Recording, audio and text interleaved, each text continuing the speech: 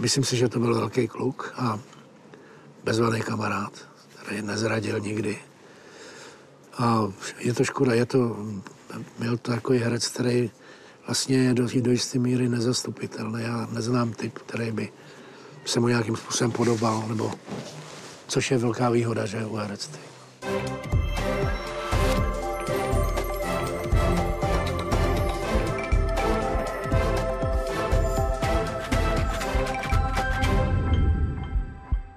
Drsňák, rváč a cholerik, ale také romantik, kamarád a milující otec. Tím vším byl Petr Čepek, jeden z největších českých herců. Jaké prožíval proslulý bouzlivák životní radosti? Co ho trápilo? A čím naplno žil? Petr Čepek přišel na svět 16. září roku 1940. O dva roky později se narodil jeho bratr Karel, dnes také herec. Oběma chlapcům ale život zpočátku moc nepřeje.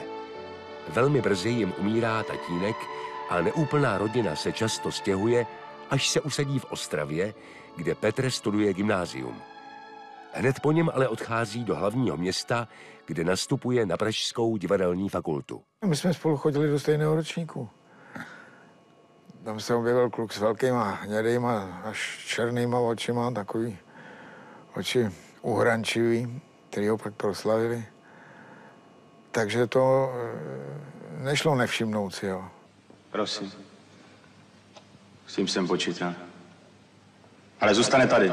Zvláštní bylo, když přišel do školy, tak profesor Nedbal říkal, jak toho kluka probudíme. On je takový pořád zasněný, takový melancholický, jenom ty oči. A jak ho probudit, aby se trošku naštval na mých. Čepku, probuď se už konečně, člověče. No, no Čepek se probudil. Když studoval a neměli peníze, takže chodili někam do nějaké hospody eh, a tam, tam, měli, tam jim dávali takový ten vyškvařený, přepálený tuk a to si dávali na chleba. To, to, to je taková věc, která mi utkvěla v paměti. No, jako všichni studenti měl své slabenky. E, jako my všichni, i když on byl těch věcech mnohem serióznější než my. On byl takový, že když se zakoukal do nějaké slečny, tak už do 14 dnů už chodil domů na nedělní obědy, představen rodičům a byla to taková jako vážná známost. My jsme blbli a on, to myslel vážně. Už se tedy rozhodla. Ty mě nemiluješ. Řekni ano nebo ne. Co pak to nepoznáš? Neznám nikoho lepšího než si ty. Opravdu ne. Nesahám ti ani pokotníky. Petra Čipka jsem poznal před více jak 50 lety, protože on byl, myslím, ve stejném ročníku jako já na divadelní fakultě, co já jsem studoval FAMu, ale já jsem obdivoval divadlo, takže jsem se chodil na ně koukat, na ten jeho ročník, takže už tenkrát jsem ho jako zaznamenal už v disku. Já jsem přijel do, pražského, do pražského disku se podívat na nové absolventy, protože my jsme už byli v Ostravě a potřebovali jsme lirického mladíka. A hrozně mě zaujal, šel jsem za ním a říkal, no, jsem Čepek a já jsem říkal, my potřebujeme, my jsme chtěli do Ostravy, já jsem, no, já jsem z Ostravy, říkal. A já bych šel s váma.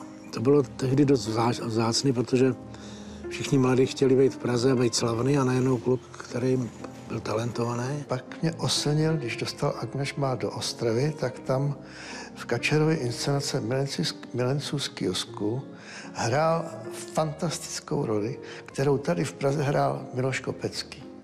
Ale on byl lepší. Peťa byl úžasný komik. To byla podle Nezvala taková jako ironická postava. On tam říkal, společnost Paramount angažovala mě pro zvukový film. Budu hrát pokašlávajícího lorda, tu Andreas. To byla první věta, kterou on tam řekl. A on to řekl s takovou jako bravůrou, jakoby parodicky vznešenou. A vlastně první roli tu Ostravu úplně pokořil. Pán mě poslal, co prej chcete. A nazdárek, fešáku. Jak se máme? Za, zaplať pán Bohu, jde to. V podniku všechno klape? Jo, klape. Hostu dost?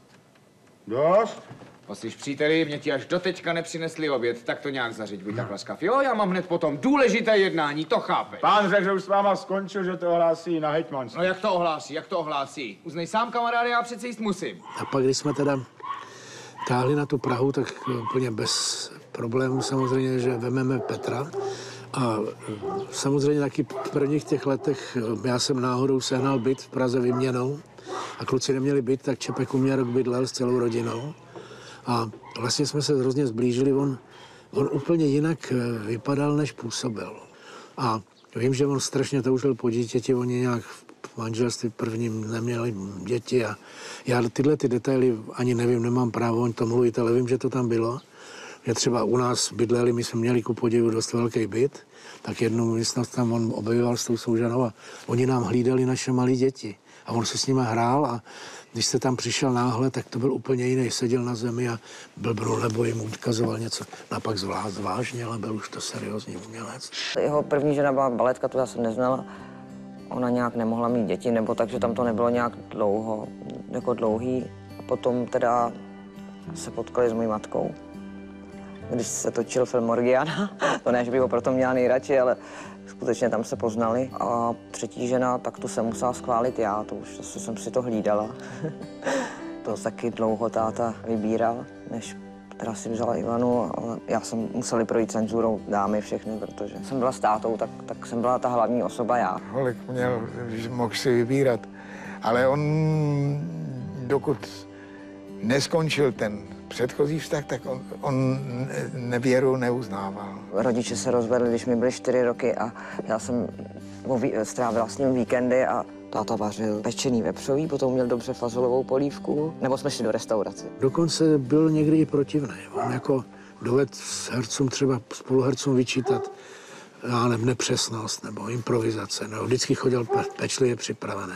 Nikdy se neopíjel na zkouškách. Já takový ty byl velmi zodpovědný. Až někdy jako k protivnosti. No, řekl takovou hezkou věc, že kdyby jednou polevil, tak pak bude polovat pořád. A viděl jsem vždycky, jak se připravoval na jeviště před představením, jak se strašně rozlobil, třeba nedopal se. Určitě si dal po každý cigáro a kafe a kdykoliv jsme byli na zájezdě, a to už jsme měli za sebou třeba, nevím, čtyřstou reprízu, tak před začátkem vyšel na jeviště a vyzkoušel si, jaká je akustika. Což už teďka se vůbec nedělá a bylo to něco fantastického. A když máte někoho, kdo vlastně z toho jeviště s váma takhle spolupracuje bez debat, přijde připravený, ví co, tak je to velká úleva. A musím říct, že v Činohráku tohle bylo bezvadné, že lidi měli vlastně takový různý úkoly. Tam Pepek Sommer byl například absolutně seriózní, naprosto neúplatný, žádný, žádný srandista. Franta Husák byl romantik, jo, který prostě občas nepřišel, pak se omluvil. Jo. Pepik Abraham, který byl hypochondr celý, jo, něco bolelo. Jo, no. Kodet a mistra světa Moleta, jo. Landák šílený, no. A oni se tak navzájem jako ctili a musím říct, že se teda jednak, což teda od té doby jsem nikdy nikde neviděl, navzájem se obdivovali ty kluci. A když se zkoušelo, tak oni seděli a koukali se v hledišti, jak to dělá ten druhý. A fandili si, což jsem v Národním divadle no, neslýchaný úplně. Polivka a pečeně. Co? Jen dva chody? Dva. Co je tohle za nesmysl, ptám se.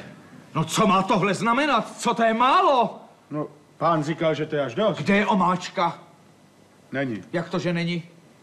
Jak to, že není, když jsem šel kolem kuchyně, všecko jenom bublalo a v lokále dopoledne takový dva pidíci jedli lososa, Bůh ví co ještě. No, ono by prosím bylo, ale není. Jak to, že není? No není, no! Losos, ryby, kotlety?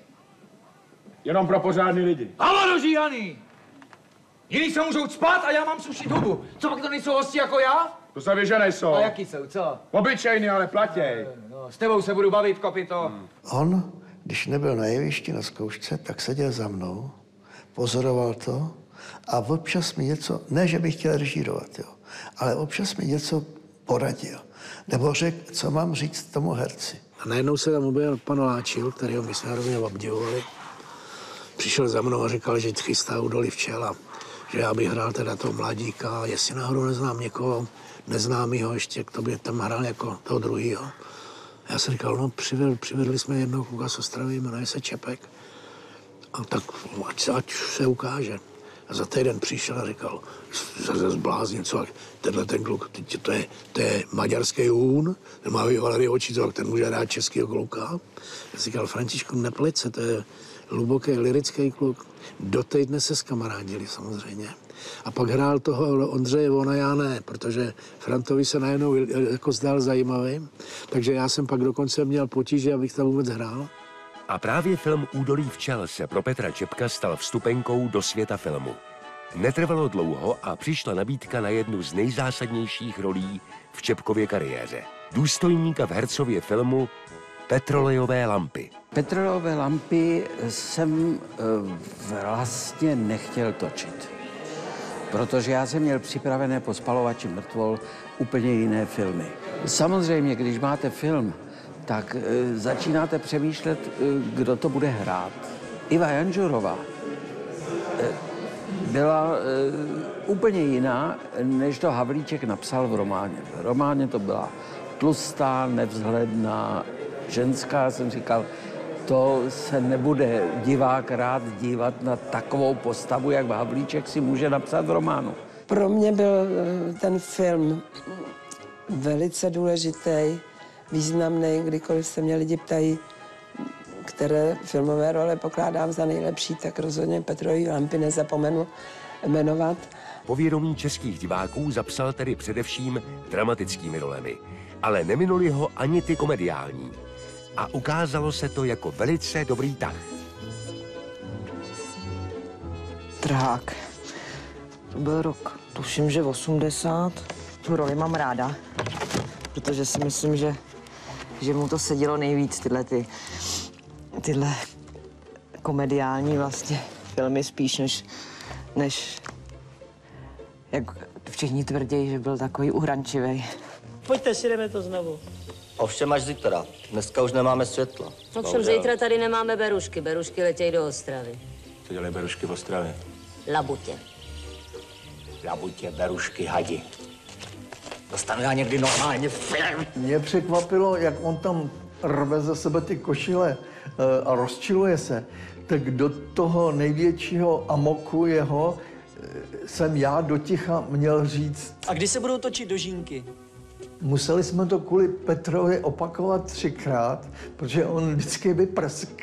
To jsem od něj taky nečekal, eh, že je tak náchylný k smíchu. Prosím vás, nás teď zajímají vaše dožínky. Cholerik byl příšerný, byl tvrdohlavec, byl eh, trval, i když třeba neměl pravdu, trval na tom, dokud, dokud po poslední peříčko důkazu nějakého nezničil, jinak on byl hrozný mezek. Taky se hodně prala. Toto vím, že moje prababička byla strašně dotčená, protože uh, oni byli jako inženýrská rodina, takže všechno bylo takový.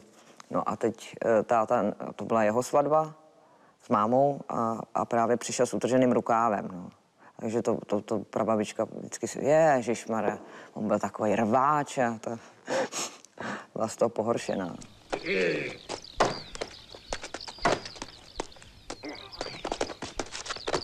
Ty sečáku. Ve vesnice hraje záporáka, že jo?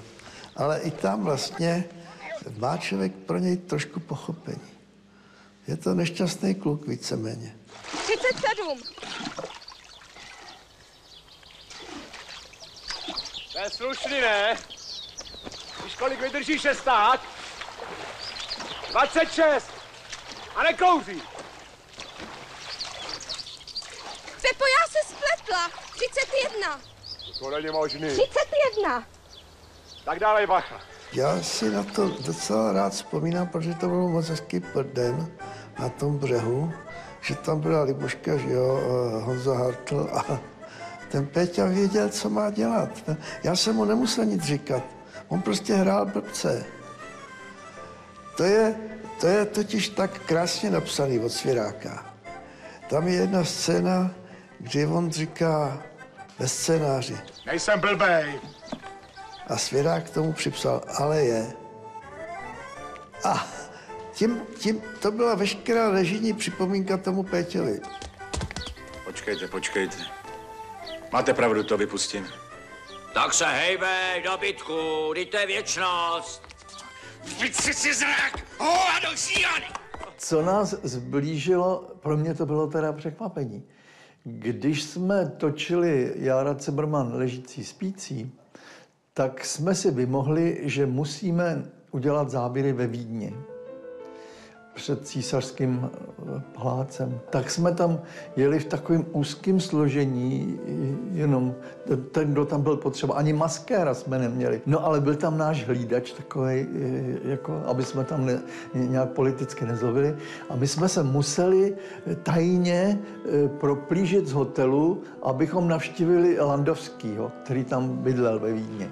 No a šli jsme po Maria Hilferstraße, to je ta obchodní ulice, a pro nás to bylo nezvykle, svě, nezvykle světlá ulice v noci, reklamy, všechno se to pohybovalo. A my jsme na to s Petrem koukali a já jsem ho měl za takového tvrdého člověka, jako hned se rozčílí a ne, ne, takový nemilosrdný. A říkal jsem mu, Petře, to je nádhera, chtěl bys tady žít? A on říká, mně se stejská už teď a jsme tu jeden den. Jemu se stejskalo po domově. Vlastenec byl, byl, byl. On, on tvrdil, že se člověk narodí v té zemi, takže tam má jako žít. Že mu to bylo dáno a měli jsme kvůli tomu několik konfliktů, ale zase mě bylo 16. Já jsem chtěla prostě jako odjet ven, že tady, ale to byly všechno takové jako ty právě ty pubertání, jak člověk je mladý, a, ale jeho to teda rozčílilo vždycky úplně maximálně. Podepiš to. Jestli to nepodepíšeš, tak tě uškrtím. Zkus to. Tak pojď sem. Jeho takový mírný výbuch cholerický jsem zažil právě eh, v té Vídni, kde jsme museli natáčet v parku, eh, kde chodili turisti a neměli jsme žádnou pořádkovou službu, která by je zastavila. No a já jsem řekl, Petře, budeme si to muset rozdělit. E, já tady zastavím tuhletu, tyhle ty turisty a ty, kdybys šel zastavit ty, druhý, řekneme jim německy, že e, e, wir drehen a, a, a, aby stáli. A on, jak byl v uniformě toho Ferdinanda Teste, tak mě seřval a řekl, že už je dost na tom, že se musí sám líčit, jo? A, a že porádkovou službu tady jad nebude. A tam jsem zažil jediný, jediný kdy, se, kdy se na mě rozčílil. Ej! Tak počkat. Kdo toho divočáka postřelil? Já. Tak tobě patří myslivecké právo. Fajšl a trofeje. Ale všechno ostatní je naše. Protože v našem obvodu to zvíře zhaslo. On byl dobrý na ty zápolné role, ale hlavně on měl, přestože hrál zlýho, tak v něm byla taková určitá špetka, že s tím člověk musel mít soucit. Jo? Protože on byl takový. On, to, ta jeho osobnost to vy, vyžadovala. On prostě seděl, připravoval se, občas si povídal, ale nekecal, jako většina těch herců, tak po, povídají si drbou, že jo. E, a on byl vždycky tak trošku stranou, jak si to já vzpomínám, neupozorňoval na sebe, on, on byl do sebe soustředěný. Doma takhle v soukromí, tak to on tak relaxoval většinou, když, ne, když, se něco ne, když se neučil roli a, a pak měl oblíbený, že koukal na sport a televizi. A na, na jakýkoliv, a to, to jsme trpěli my zase, protože nahlas třeba ty, jak se to jmenuje, jak v těch motorkách, na těch motorkách jezdí v tom bahně, a ty, ty zvuky hlavně, že jsou nepříjemný s tím komentářem. A to bylo, mu bylo jedno, co, co šlo, jestli kolová nebo něco, on prostě koukal a fandil. A, a, a když třeba dali gol, tak on vylítnul a vykřiknul, takže i když člověk to čekal, tak prostě stejně se lek. Jako.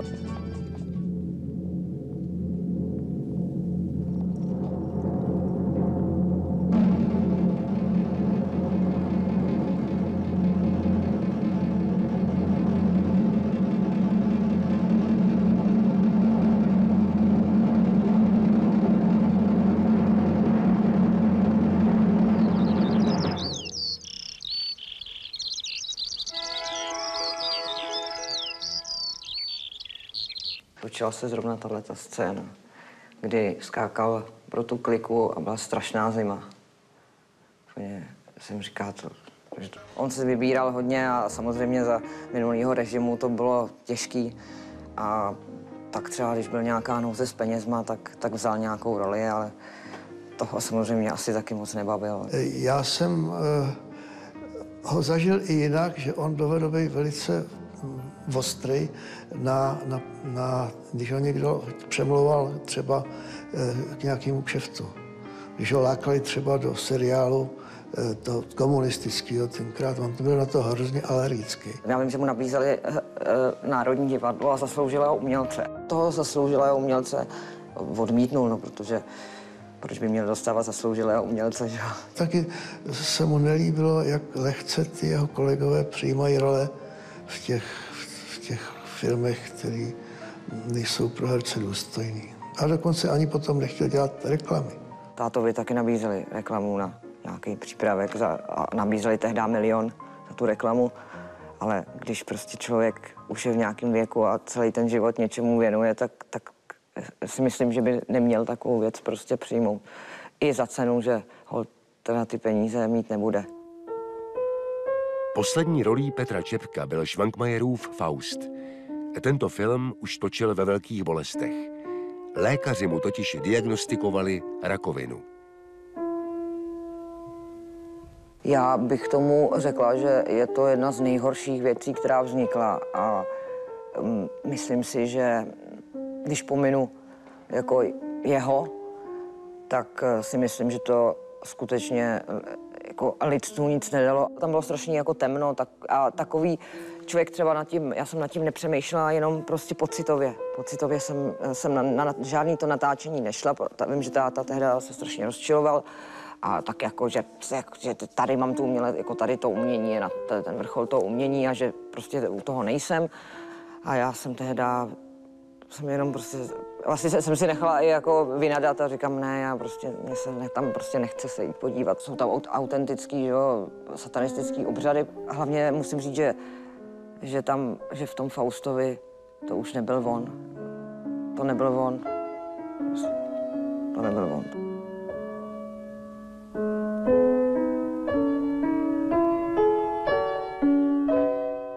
Z toho úplně mrazí a, a, a to nebyla role, která by byla takhle výborně zahraná. Faust byl dotočen, doktoři zjistili, že už je pozdě na všechno, ale nicméně já jsem akorát byla těsně před porodem a takže se mi to snažili jak si zatajit, nebo neřet, neříct mi, že na tom až tak špatně. Takže já jsem se to dozvěděla vlastně týden před jeho smrtí, že už je konec. On taky nebyl moc šťastný. A myslím, že toho zahubilo. Že on se hodně věcma trápil. Tou nespravedlností a tím, jaký jsou lidi kolem. On, jak, je, jak to byl čistý kluk, tak jako neuměl hmouřit oči před tím darebáctvím, který ho obklipovalo. A, a trápil se, když věděl, že s tím nemůže nic dělat. A myslím, že tomu i přineslo chorob, tu jeho nemoc. Ono už bylo dlouho špatně. Dokonce, když byl na té první operaci, tak, tak si pamatuju, jak jsem na něm, za ním šla a on stál venku, kouřil a říkal, a říkal, no, vidíš, dovolili mi kouřit, je to v prdeli. On měl na to hrozný vztek na tu nemoc. On říkal, krucifix, já mám jinak tak silný organismus, tak jako obrany schopný. A teď mi tahle ta mrcha takhle napadla. Já se budu, ono se to tělo bude dlouho bránit, protože je, e, protože je e, silný tak měl strach z dlouhého umírání. Takže myslím, že to zase po svým způsobu možná zabalil. Odešel taky, aby byl od nás daleko, aby se to nějak manifestačně neprojevovalo a furt se nemluvilo, jaká je to ztráta. On prostě zales nějaký vesnický chalupy, kde byl a tam, tam vlastně tiše pokorně odešel. Bohužel jsem nestačila asi spoustu věcí. Mrzí mě to, ale už se to nikdy nedá vrátit. No. Hrozně jsem ho miloval.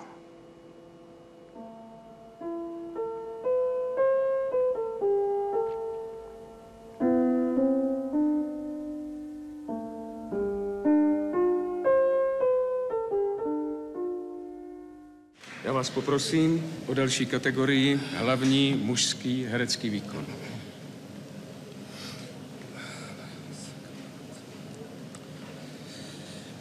Petr Čepek. Já jsem tam teda byla. Musím říct, že mě to tak jako, to bylo tak, já jsem, já jsem přestože myslím si, že na veřejnosti takhle jako nemám nějaký projevy hysterického breku zvlášť, tak ale tam to teda nešlo zastavit. Tu cenu přebírala teda moje macecha. Tak oni to udělali, udělali jako asi na památ, nebo dali to tomu tátovi, ale přece myslím si, že každou roli, kterou měl jinou než tuhle tu, by se zasloužila český holva. Ale Faust to bylo už jenom tak na oko, že prostě umřel. Že? Takže celý to byla taková komedie jenom. No.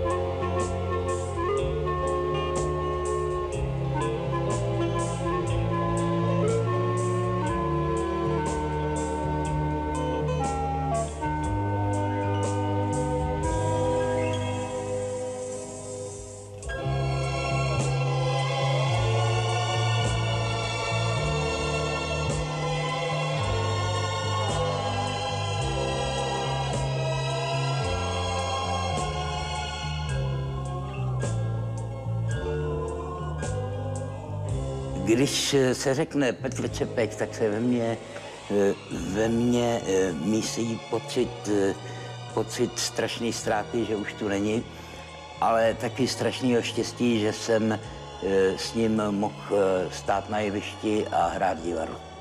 Jeden z nejlepších přátel. Bezvadný kluk. Trošku tvrdohlavý, ale jinak bezvadný. To kamarád, který je třeba obdivovat.